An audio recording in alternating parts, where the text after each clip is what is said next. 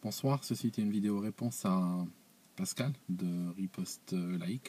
Tout d'abord, merci d'avoir trouvé le temps de, répondre et puis aussi d'avoir trouvé le, ton adéquat pour parler avec légèreté de sujets qui sont très pénibles et très difficiles. Euh, en fait, tout d'abord, je m'adresse dans mes vidéos, je ne m'adresse pas à, à, la France qui sort marcher, je ne m'adresse pas à la France qui se bat. J'ai beaucoup de respect pour cette France-là et je suis souvent encouragé par euh, ce type de Français. Et c'est parmi ces Français-là que je trouve mon inspiration et que je trouve aussi euh, la quasi-totalité de, mes amis. En fait, mes vidéos sont à destination de la France qui dort, de la France qui accepte tout, de la France qui n'a plus de, qui n'a plus de repères, qui n'a rien à demander, qui n'attend rien. Et ces gens-là, j'ai envie de les réveiller. Je dois aller au front les réveiller. Je ne peux pas les ignorer. Nous ne devons pas les ignorer parce que nous sommes dans une sorte de navire et nous sommes quelque part tous ensemble à le mener. Et puis en général, quand il s'agit d'élections, c'est généralement la majorité qui l'emporte. Or, euh, si la majorité est lobotomisée, euh, ben, on, va avoir des, on va avoir des problèmes parce qu'on ira tous au mur, tous ensemble, euh, quel, que soit le, quel que soit notre parti politique, notre orientation ou autre. Voilà, donc ça c'était un point que je voulais, absolument préciser. Deuxièmement, euh, tu m'avais parlé de, tu parlé de la, différence entre l'islam et, euh, l'islamisme. Écoute, euh, la société algérienne a toujours été, a toujours été musulmane, en tout cas musulmane depuis, très longtemps, si longtemps que, qu'on peut presque dire depuis toujours. Mais jusqu'au début des années 80, ça ne posait pas réellement problème le premier islamiste professionnel que, que j'ai vu, je l'ai vu, on va dire, milieu des années 80. Le premier voile que j'ai vu, je l'ai vu début des années 80. Alors, peut-être qu'il y avait des voiles avant, mais ils étaient extrêmement rares euh, et on ne les voyait pas euh, tout le temps. C'est vrai que les femmes algériennes portaient, depuis, depuis des siècles, portaient une sorte de, de, de, une sorte de toile blanche, généralement de la, de la soie ou du drap ou autre, mais c'était quelque chose d'assez d'assez relaxé. C'est quelque chose qui venait plus de là, qui trouvait sa justification plus dans la tradition que dans la, euh, que dans la religion. Et en fait, elle pouvait des fois, à certaines occasions, porter ça, d'autres occasions, elle pouvait ne pas le porter. Euh, des fois, elles arrivaient au marché ou dans un magasin ou autre, et puis elles euh, l'enlevaient pour pouvoir discuter, pour pouvoir toucher la marchandise ou autre sans problème. Mais aujourd'hui, nous sommes, nous sommes totalement dans une, dans, une, dans une pratique complètement différente. Nous sommes dans une autre, dans une autre euh, dimension. En fait, tu m'avais, tu m'avais demandé la différence entre. Euh, c'est quoi la différence à mes yeux entre l'islam et l'islamisme En fait, je vais te dire un truc. Euh, je parle, je parle d'islamisme parce que pour moi, c'est une manière de désigner en fait l'islam militant, c'est-à-dire l'islam qui veut changer la vie des autres. Il faut savoir que, il faut savoir que dans un pays comme le mien, par exemple, en Algérie, aujourd'hui, nous sommes passés à une, application euh, très, comment dire, très hystérique de la, de la religion.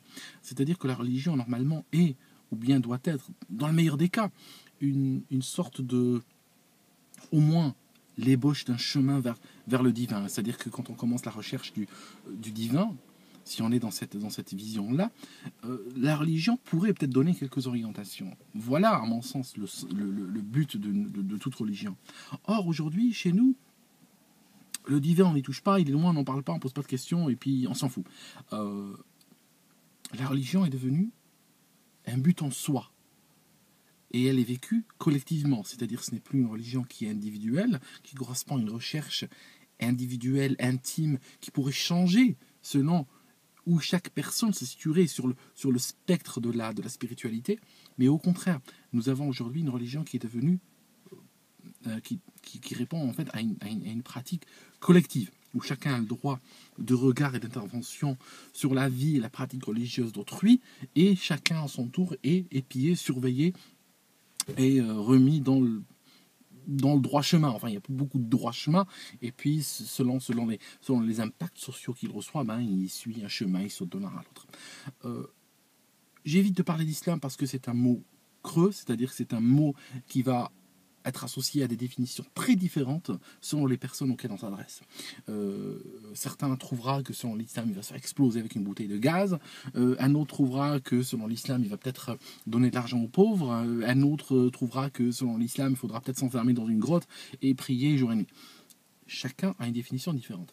D'ailleurs, en cela, l'islam est une religion extrêmement moderne, dans le sens où c'est probablement, si je prends les trois religions monothéistes, c'est certainement la, seule religion euh, qui est moderne dans le sens qu'elle est open source. C'est-à-dire que si tu prends, tu prends, je sais pas, si tu prends un truc open source, genre une distribution de Linux ou PHP ou peu importe, tu peux tout à fait te l'approprier, l'adapter, changer, enlever, rectifier, etc.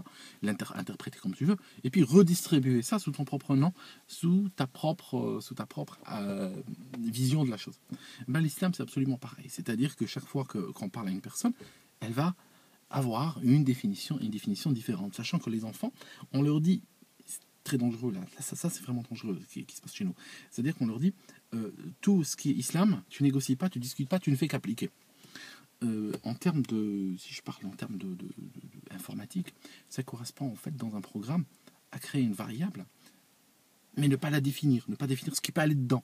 Alors en fait, on arrive avec plein, plein, plein de gamins qui, savent que quand c'est islam, tu dois suivre, quand islam, tu dois suivre, mais en fait, ils savent pas ce qui est dedans. Alors c'est-à-dire qu'ils grandissent, puis n'importe qui peut venir prendre cette variable et puis littéralement la hacker, la pirater, comme, comme tu piraterais un ordinateur en fait, et mettre dedans ce qu'il veut. Et à partir de là, la personne va va fonctionner selon. C'est extrêmement dangereux ce genre de, ce genre de choses. Et aussi, euh, l'islam peut être utilisé pour justifier un peu, un peu ce qu'on veut, peut-être vécu un petit peu comme on veut. C'est-à-dire que euh, en France, où la population carcérale généralement, on va dire généralement de religion musulmane, hein, c'est les chiffres. Hein, j'ai lu l'autre jour que l'islam était la religion des, la religion des prisons. C'est pas parce qu'on n'enferme pas les gens parce qu'ils sont, parce qu'ils sont musulmans, non, loin de là. Euh, on, les enferme parce que justement ils commettent des vols, ils commettent des agressions et tout ça.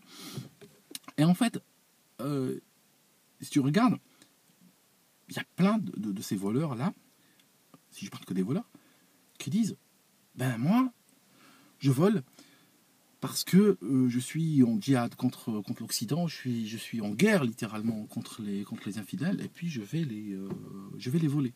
Et ce que je prends est un butin. Donc en fait, le mec, il va, euh, il va à la foire fouille ou chez Tati voler des culottes, et il se sent déjà sur la voie glorieuse de djihad.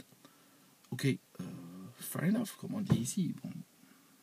Admettons, admettons, acceptons ça 5 minutes.